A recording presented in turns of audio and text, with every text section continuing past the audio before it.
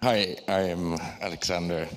Uh, I've been doing films, uh, computer games. Um, I came into Ethereum at some point and tried to fix the UX when nobody heard about ENS, which was very hard.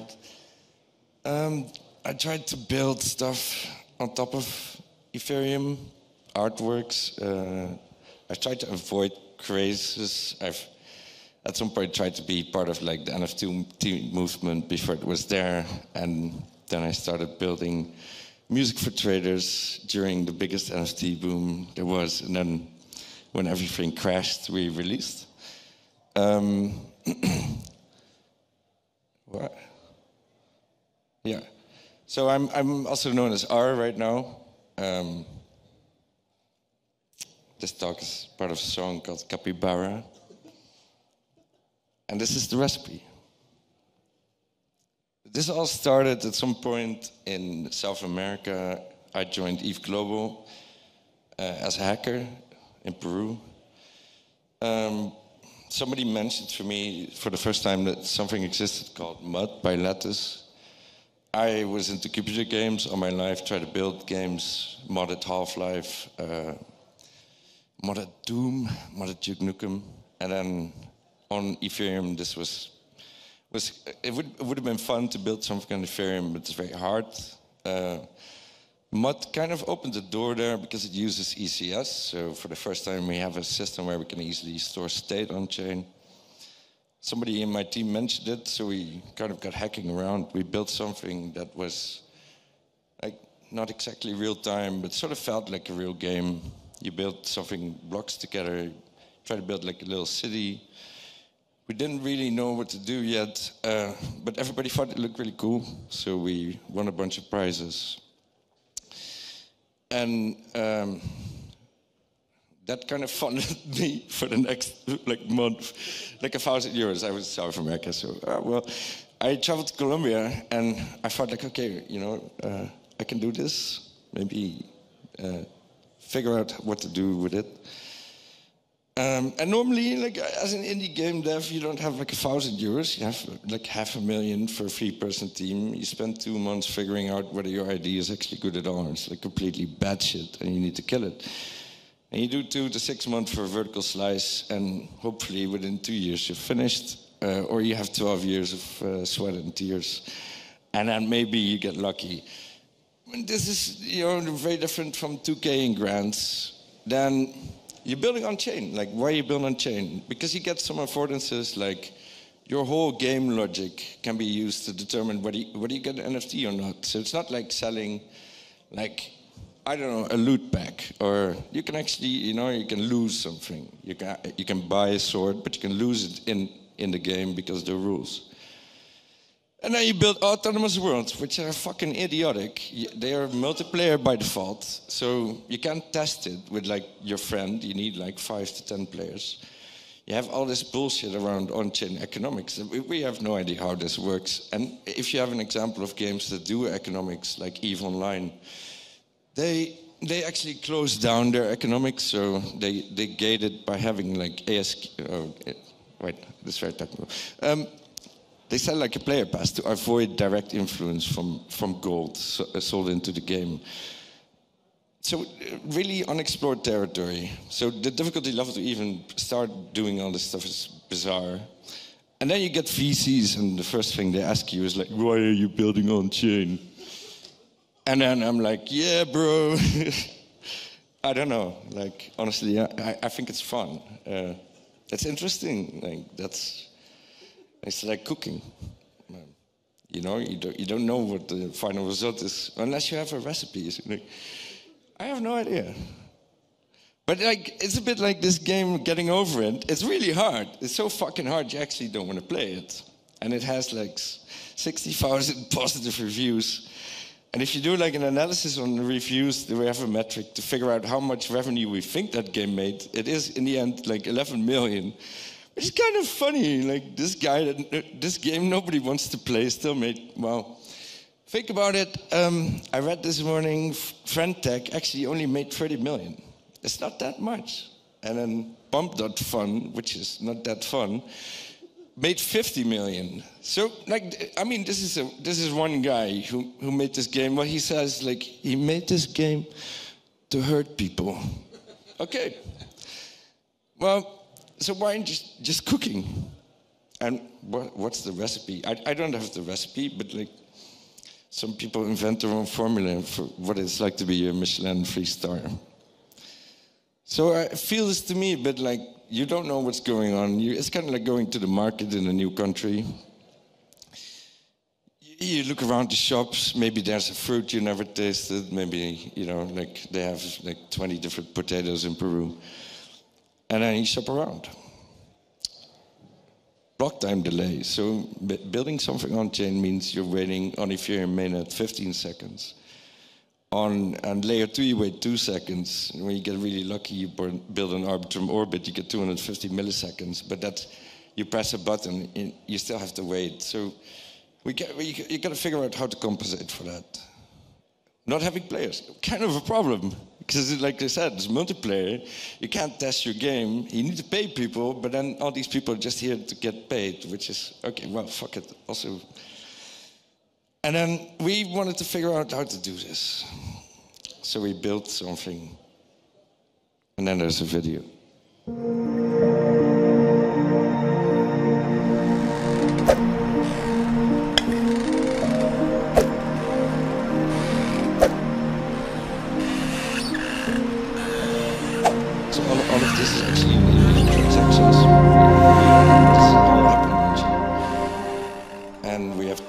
250 millisecond delay, so we bridge the gap, but just having a particle effect makes it feel like it's still happening in real time. Then some stuff doesn't actually need to be on chain. Like, for example, the other players talking to you.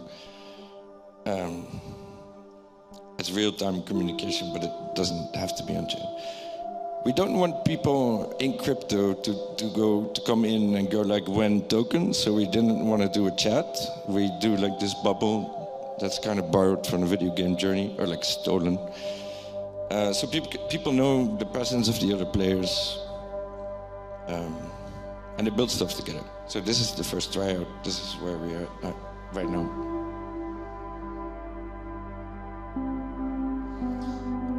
these plants grow, this is what we're trying to figure out right now, how, how to do a game loop on chain. So at some point the jungle will grow, it will grow over the houses. We're trying to build an autonomous world. I mean, there's a lot of theory about it. We don't know what game will be an autonomous world, but I think it would be nice if it's alive, if there's plants growing, animals. There's really like, they talk about digital physics, but uh, what, what would, it, would it look like? And then also, like, uh, somehow we have to make money, or we can create maybe different affordances in crypto, which, like, I think ideas around hyperstructures are really interesting. So we were like, okay, maybe we can. We also have like a, we can have like maybe hundred players right now. Pretty big problem. Maybe people can watch the game and pay for something to happen in the game, so they don't do like hundred actions per minute, just like they, they influence the world. So we're trying this out by making people, giving people the capability to make stuff grow. And this could later be like a SimCity disaster, like a volcano or whatever. But we, we wanted to set this up to make it make sense. You make the plants grow, but maybe you do something in real life as well. So you just connect in the game, you actually pay.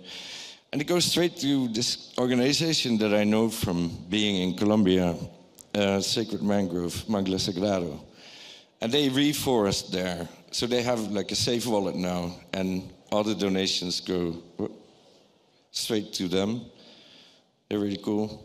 They've been so they, they, they see the effects of tourism there. So we, like I'm playing with this idea of virtual tourism. Well, so this is what we do.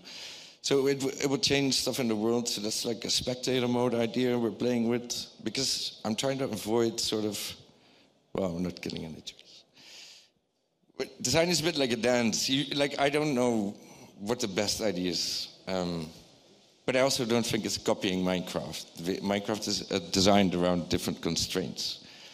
So you have to play a little bit to create something nice.